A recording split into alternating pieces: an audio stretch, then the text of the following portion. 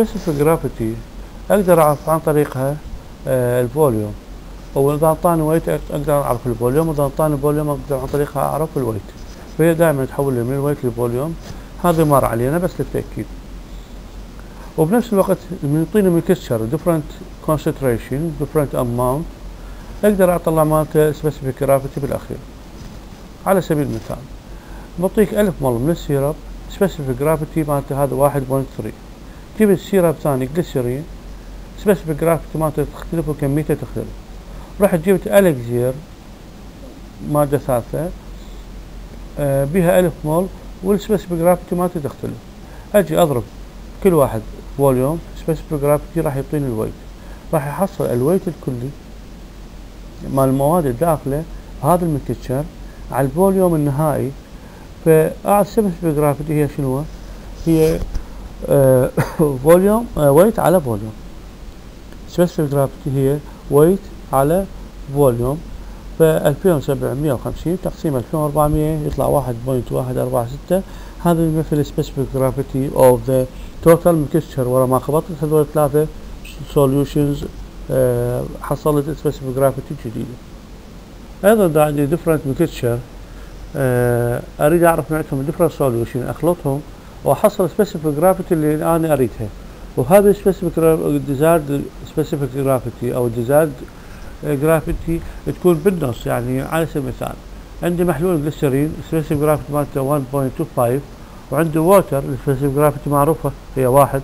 أريد أحضر هذول أخلطهم أحضر solution specific gravity مالته ما بينهما ما بين الواحد وربع إلى الواحد اللي هي على سبيل المثال واحد point عشرة. واحد point واحد. هذا شلون احلها بنفس الطريقة مال مال alligation alternate أخلي specific gravity الأعلى فوق أخلي specific gravity ال desired بالوسط أخلي specific gravity اللي هذه بالنص.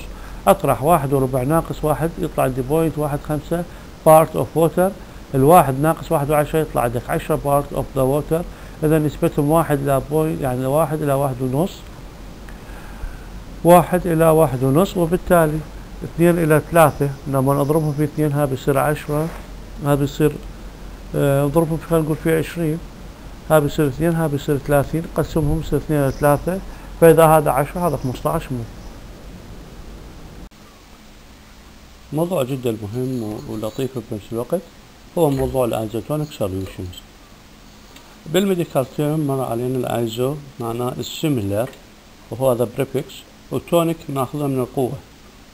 ف isotonic معناها متساوي القوة solution محاليل إذا solution with the similar tonicity كمقدمة When a solvent passes through a semi-permeable membrane from dilute, dilute solution into more concentrated one, the concentrated solution equalized يعني يبقى النفوذية مالته لحد ما اثنيناتهم المحلول ال dilute وال concentrated يصيرون نفس ال concentration هذه العملية المرور من ال dilute لل concentrated عن طريق ال semi-permeable membrane اختيار النفوذية يسموها ماخذيها أنتم يسموها التناضح اللي هو osmosis بالحقيقة الدم على سبيل المثال بي مي وبي particle الضغط اللي يسقط المي نسميه hydrostatic pressure اللي عاكس الضغط اللي يحتفظ بالمي نسميه oncotic pressure. هذا ال oncotic pressure اللي يسويه ال molecule تحاول تحتفظ بالمي. بينما المي شو يحاول؟ يحاول يطلع من particle يروح لمن؟ يروح لمكانات حسب ال concentration The pressure responsible for this phenomenon حالة ال osmosis هو osmotic pressure اللي هو يشبه ال oncotic pressure and varies with the nature of the solute يعني المسؤول عن تكوين ال osmotic pressure هم ال particle if the solute إذا هو ال solute هذا non electrolyte يعني ما يتفكك إلى أيونات It is solution contain only non-dissociated molecule مثل ما قلت لكم ما تتفكك and osmotic pressure varies يختلف with the with the concentrations of the solute هذا ال osmotic pressure راح يختلف ويا التركيز هذه مركبات non electrolyte if the solute is an electrolyte إذا هسه ذاك قلنا non electrolyte يعني ما يعطينا ما يصير dissociation to its ions إذا electrolyte هذا المحلول معناه يعطينا dissociation to its ion اللي يكونها متكونة من عندها. وبالتالي ال osmotic pressure راح يعتمد على both concentration of solute and its degree of dissociation. اذا ببساطة عندنا osmotic pressure. ال solvent يتجه من ال low ال solvent يتجه من ال low concentration لل high concentration لحد ما يوصل لمرحله يساوي مسؤول عن هذه الحركة مال ال solvent آه، ضغطين ضغط ال hydrostatic pressure hydro من كلمة مي مسؤول عنها ال water ما يهمنا يهمنا ال oncotic pressure أو osmosis pressure اللي هو مسؤول عنها مسؤول عنها ال particle عندنا بصورة عامة two type of particle اللي هي electrolyte و non electrolyte ال non electrolyte اللي هي ما تتفكك بالمحلول إلى مكوناتها الأصلية ولا الأيونات المتكونة من عندها وبالتالي من نكتب ال osmosis pressure إذا راح نعتمد على factor واحد اللي هو concentration of the solute concentration of the molecule اللي هو non electrolyte إذا اعتمدنا على ال concentration لكن إذا عندنا مادة ثانية اللي هي electrolyte يعني هاي تفسخت إلى مكوناتها بس هي ما راح تتحلل إلى مكوناتها 100% راح يبقى ال particle الأصلية ومكوناتها. مثل على سبيل المثال كي أو اتش الكي أو اتش يبقى ويعطينا K الوحده بوتاسيوم يعطينا OH الوحده اذا صار عندنا ثلاث مواد بال solution الواحد. لأنه electrolyte فال osmosis pressure بهاي الحالة راح يعتمد على من؟ راح يعتمد على ال solute نفسه وعلى ال degree of dissociation هذا ال slide راح نكمل ويا ال isotonic عندنا isotonic عندنا isosmotic نفس الاسم.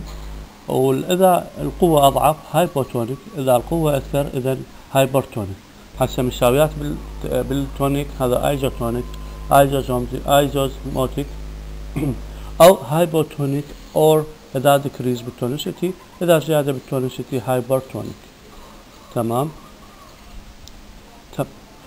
إحنا هسه من نقصد نقول isotonic إيش نقصد؟ نقصد إنه يابا هذا ال solution osmotic pressure مالته يشبه ال body fluid يعني ال osmotic pressure مالته يشبه ال body fluid يشبه البلازما بالتالي هذا isotonic. زين ليش نسوي isotonic؟ تتذكرون الظاهرة مال إذا بكتيريا خليناها بوسط مالح اللي هو hypertonic. معناها ال fluid ال solvent منين تتوجه تتوجه من الخفيف إلى الأعلى. تتوجه من البكتيريا وين تروح؟ إلى ال solvent.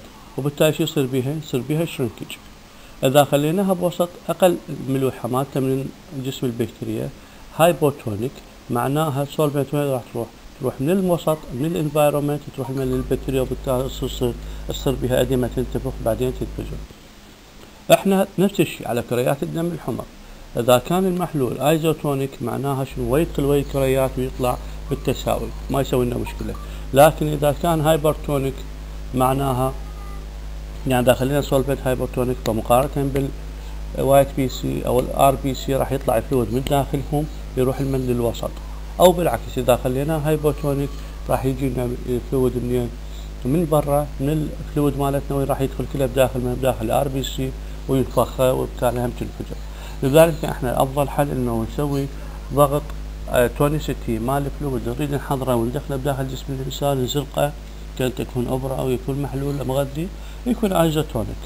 هذا ال isotonic حسبوه لقوا إنه يعادل 0.9% weight per volume من ال sodium chloride ال isotonic solution هو 0.9% weight per volume sodium chloride هذه standard نقطة سطر نحفظها نحتاجها. اليوم وباكر وعقبه وبحياتنا العملية. إذا نضرب مثال على isotonic solution هو sodium chloride اللي إحنا بالعامية بالشارع نسميه المحلول المالح المغذي مالح يسمونه جماعتنا. المغذي المالح من تجي تقرأ؟ التركيبة مالته هو 0.9% weight per volume sodium chloride. فإذا واحد أقل منها بال 0.9 معناه نسميه hypotonic إذا أعلى hypertonic اللي نحتاجه إحنا نحتاجه isotonic اتفقنا إنه آه، حتى نحسب ال tonicity نحتاج نعرف إنه هذا ال concentration of the solute أو هل هو يتفكك dissociated or not اتفقنا بحالة إنه ال electrolyte وال concentration فقط وما نحتاج لأن هو أصلا ما راح يتفكك فما نحتاج نحسب ال dissociating factor بحالة ال electrolyte راح يتفكك إلى its ions تمام؟ بما إنه راح يتفكك إذا إحنا نحتاج نحتاج قد concentration أو نحتاج نحسب ال dissociating factor اللي هو يعتمد على نقطتين أساسية. إلى أي درجة راح يتفكك المحلول وكم particle راح يصير عندي؟ To what extent of dissociation? يعني هذا ال KOH أو ال NaCl راح تتفكك تتفكك 100% تتفكك 80% تتفكك 90% متفككت 100% صار عندي بس K و OH صار عندي بس Na و Cl يعني ما ظل عندي ملح. لو تفكك 90% ظل ملح وباقي 10% ions أو العكس. فهذه ال rate of extent ال extent ما تفكك وكم بارتكل بما أنه عندي ان اي ان اي أو اتش أو ان اي سي ال هذا المحلول الكبير NaCl. تفككت إلى Na و Cl صار عندي NaCl وحده Na sodium وحده و Cl الوحده اذا عندي 3 particle ولكن بحالة ال non electrolyte هي particle واحدة. لذلك صار علينا لزاما إنه نعرف dissociating factor ال dissociating factor هو عامل مهم جدا لقياس المدى مال التفكك. Extent of dissociation مال ال molecule. رياضي الرمز مالته هذا ال i المايله آه رياضيات شلون نحسبها هو is a ratio of total number of particles following dissociation اذا اني أحسب عدد ال particle اللي راح تصير عندي جزيئات ورا ما صار تفكك نسبة إلى number of molecule before dissociation. على سبيل المثال for example راح يبسط لك إياها. لقيت عندك 100 molecule of NaCl will dissociated 80% هذا المادة مالتها to produce. راح تفكك 80% منها إيش تنتج منها هاي 80% 80 particle each of sodium and chloride ions. يعني يعني 80 particle sodium و80 particle كلورايد إيش قد متبقي and 20% particle of NaCl. معناها 88 160 و20 اذا عندي صار عندي 80 particle المن إلى الأصل اللي هو كانت 100 molecule معناها 180 على 100 1.8 هذا ال dissociating factor مال ال sodium chloride بحالة من بحال صار ال dissociating هو 80% تمام؟ أعيد. عندي 100 molecule NaCl هاي بتفككت. أنطتني 80 particle فككت لي 80% 80% شو اقصد بيها؟ أقصد بيها 80 NaCl 80 كلورايد. إيش قد متبقي من المية؟ 80% متبقي 20% هذا 20% هو حقيقة بقى NaCl ما تفكك لو قايل لي 100% معناها المية على 100 تمام؟ يعني لو 100% أصلا ما أرجع أقول اكو NaCl كله صار صوديوم معناها 200 على 100 معناها صارت 100 أعيد المثال مالتي. عندي 100 molecule NaCl تفككت 80% أنطتني 80 particle ما دام 80% 80 particle Na 80 particle من الكلورايد بالمتبقي 20 particle من ال اذا 80 زائد 80 زائد 20 صار عندي 180 التقسيم هو 100 صار عندي ال factor 1.8 إذا في حالة ال non electrolyte هاي في هاي الحالة المركب ما راح يتفكك بس عندنا zero particle of ion زائد 100 particle of undissociated molecule بالتالي 100 particle 100 على 100 راح تطلع لنا واحد. فال undissociated particle هي تعادل واحد undissociated factor بحالة ال non-electrolyte هو يساوي واحد. شوف هذا المثال إنه zinc sulfate آه اللي هو من ال zinc وال sulfate. بالتالي من يصير ال dissociation يصير يعطينا زنك ويعطينا sulfate لوحدهم وعندنا يبقى zinc sulfate. قد نسبة ال dissociation مالته هي أربعين بالمية معناه يعطينا أربعين زنك وأربعين sulfate والباقي ستين هو آه zinc sulfate. من نريد نحسبهم أربعين زائد أربعين زائد ستين يطلع مية وأربعين على مية وبالتالي 1.4 هو dissociating particle dissociating factor of the zinc sulfate in this example. اتفقنا حتى نعرف نطلع قيمة ال dissociative factor نحتاج ال extent of dissociation اللي يعطينا إياها percent وال number of ion تدرون ممكن المركبات ممكن نشتغلها بحيث نطلع لهم نسبة ال dissociation. بس ممكن نعرف يعني نظريا عدد الأيونات الموجودة فيها. فإذا ما أعطانا نسبة ال dissociation عندنا أرقام ثابتة آه، يعني كاستقراء نقدر نحفظهم أو نعطيهم بالسؤال. أنتم حاولوا تحفظوهم ونعطيهم بالسؤال. آه، عن طريقة نعرف ال dissociation. factor بدون ما أعطيك النسبة بس انطيك number of ions. Dissociated to it. يعني المركب راح يتفكك إلى 2 ايون 3 ايون 4 ايون 5 ion no dissociating. هذه الأرقام تنحفظ.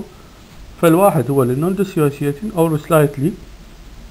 ال 1.8 2 ions ال 3 ions هو 2.6 إذا dissociated to 4 ايون هو 3.4 to 5 ايون 4.2 هذه for keeping يعني حفظوها. وإذا احتمال بالسؤال نعطيكم إياها بس أنتم اللي مبدئيا راح تحفظوها. نرجع لل isot simple isotonic solution simple isotonic solution اتفقنا انه هو solution اللي بيه sodium chloride ال concentration مالته 0.9% weight per volume اذا عندنا محلول sodium chloride نسبته 9% weight per volume اذا هذا isotonic solution اذا اعطاني sodium chloride solution بس النسبة مالته هي 0.5 شلون أحوله؟ هذا 0.5 معناه hyper لو hypotonic معناه hypotonic أقل من point 9 إذا أعطاني point 12 أعتبره hypertonic تمام؟ نرجع. بالمثال معطيني point 5 اذا هذا hypotonic ال hypo معناه قليل معناه لازم أضيف له sodium chloride حتى أصعد النسبة. فقد أصعد النسبة. آه هذا ال point 5 معناها point 5 gram per مية مل مو أنا أريدها point 9 إذا افترضنا الحجم هو 100 وعندي point 5 point 9 minus point 5 يطلع point 4 اذا لازم أوزن 4 جرامات الكل 100 هسه إذا هذا تركيزه 500 في 5 ال point 4 يطلع في يطلع لازم له 2 جرام. طريقة أخرى لتحضير simple isotonic solution بالاستفادة من من ال dissociating factor اللي مر علينا مر سابقا بال slideات القبلية عندك معادلة ثابتة تحفظها حتى تطلع. ال isotonic solution جدي عادي من أي مركب. إذا اعطيت ال dissociation factor تحفظها هذه ال equation point 52 multiply by molecular weight of molecule على 1.86 multiply by its dissociating factor. راح يطلعون دول الجرامات أحفظها. راح يطلع لك بالجرام. of solute من هذا المركب. per 1000 جرام من ال water هذا نعتبره isotonic. هاي الكمية بالألف تعتبر isotonic. هذه فائدة ال dissociating factor بحساب ال simple isotonic solution another procedure لمعرفة المكافئ لل sodium chloride وبالتالي يفيدنا بتحضير ال isotonic solution ال term سموه sodium chloride شو نقصد به sodium chloride equivalent هو number of gram of sodium chloride that will produce the same tonicity effect as 1 gram of the drug. لل drug للجرام الواحد من ال drug إيش قد يعاد له كم جرام من ال sodium chloride لحتى يسوون نفس ال tonicity لذلك it is not provided هذه أكو معادلة موجودة تقول equivalent يساوي molecular weight في of sodium chloride dissociating factor مال من sodium chloride multiply by dissociating factor of drug على molecular weight of the drug. هذا شو طلع لنا؟ طلع لنا ال equivalent إذا ضربنا ال drug بال equivalent مالته راح نطلع بها amount of sodium chloride represented by the drug. كأنما هالقد عندنا sodium chloride وراها نحسب ال isotonicity نطبق المعادلة السابقة على ال boric acid وال sodium chloride.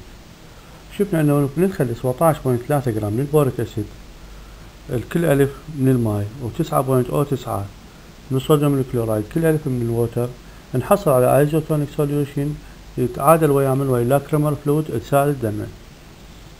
بمعناها 17.3 جرام من ال boric acid تعادل بال tonicity المن ل 9.09 جرام من ال sodium chloride. وبالتالي إذا واحد جرام من ال boric acid آه يكافئ تسعة point O تسعة تقسيم سبعتاش point ثلاثة أو يساوي لنا اثنين point خمسة اثنين لل sodium chloride. أو بالعكس إذا نقول واحد جرام من ال sodium chloride حتى يعادل ال boric acid tonicity بيساوي لنا سبعتاش point ثلاثة تقسيم تسعة point O تسعة ويساوي لنا واحد point تسعة جرام لل boric acid. عدد جرامات ال sodium chloride. تعادل واحد جرام من المادة نحسب قانون ال dissociating factor مرات يعطيك ال dissociation factor جاهز ومرات بنفس الطريقة اللي استخدمناها بمعرفتهم. وهنا بالسؤال أنت لازم تحسب ال dissociation factor مال المادة مال ال papaverine علما معطيك إياها تحلل إلى 2 ions بنسبة التفكك 80% إذا نفس الطريقة القديمة بالحساب. عندنا معناها 88 وعندنا 20 تقسيم 100 يطلع ال dissociating factor. عندك ال molecular weight مالتهم وبتحفظ انت ال molecular weight مال ال sodium chloride وال dissociating factor مالته حتى تحصل على عدد الغرامات مال ال sodium chloride لتعادل واحد غرام من ال drug بال tonicity. Also another example على calculation of the E value. اتفقنا ال equivalent أنا أكررها حتى تحفظوها ال equivalent value هي عدد غرامات الصوديوم لتعادل واحد غرام من المادة حتى بال tonicity ف calculate sodium chloride equivalent for glycerin الجليسرين معطيك note إنها non electrolyte إذا dissociating factor مالت اليد. شو تقولون واحد point اثنين واحد خمسة ستة. بما انه non electrolyte أو slightly electrolyte slightly dissociation هذا نعتبره ال dissociating factor مالته equal to the 1 واحد. وبالتالي راح نحل السؤال. يعني فكرة هذا السؤال إنه هي هذه electrolyte المفروض تعرف ال dissociating هذا مثال calculate the sodium chloride equivalent for timolol malate which dissociates into two ion and has a molecular weight of the 432 هذا homework حلو تجوا لي Google Classroom طلاب مرت بينا ثلاث مراحل تقريبا. معرفة آه، حساب ال isotonic solution مرة عندي بس sodium chloride وبالتالي أريد أحقق النسبة اللي هي 0.9% weight per volume عندي أقل أكثر المهم أحقق هاي النسبة.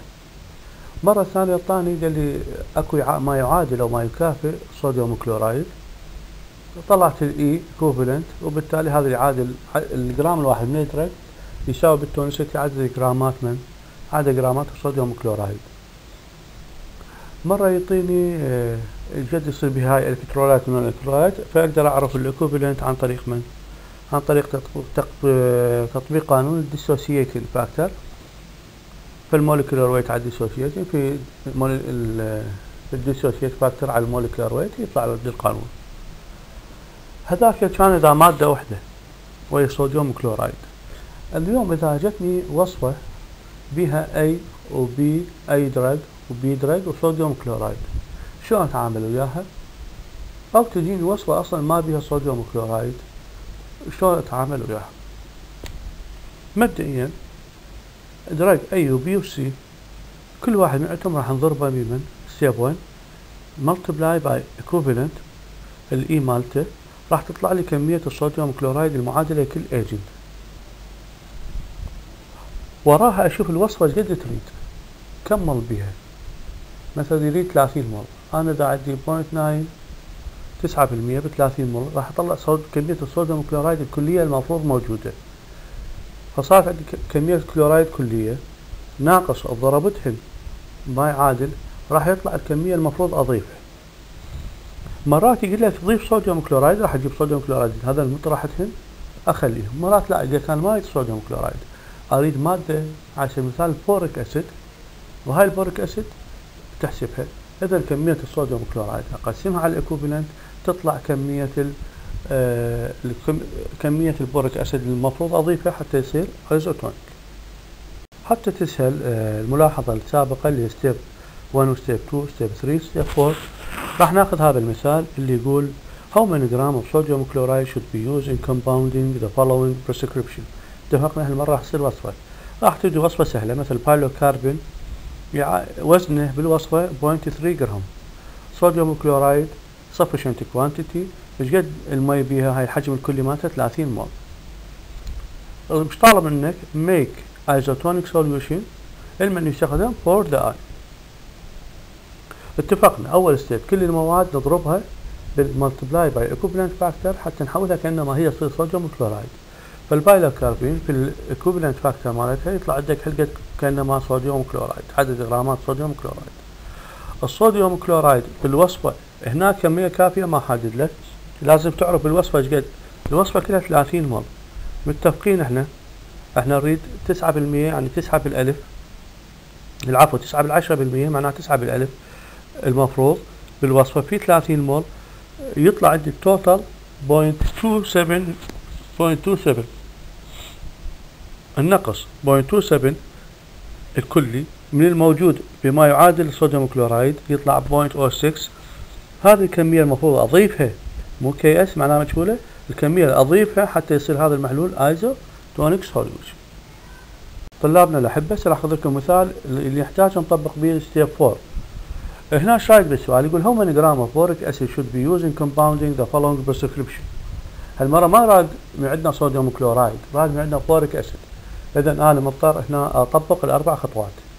اللي هم كلش سهله أول مرة أجي كل كل دواء موجود اضربه بال multiply by equivalent مالته راح أطلع كمية الصوديوم الموجودة بالوصفة. وبالتالي أضرب 1% في ال equivalent مالته في ال equivalent ال boric هو المطلوب ال 60% هاي الخطوة الأولى.